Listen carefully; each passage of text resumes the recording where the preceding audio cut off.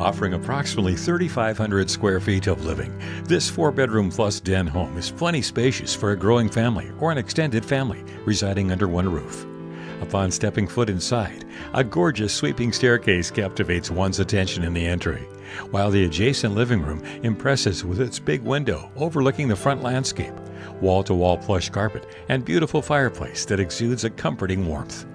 At its heart is a well appointed kitchen featuring ample cabinetry and counter space, as well as a built in cooktop within an immense island.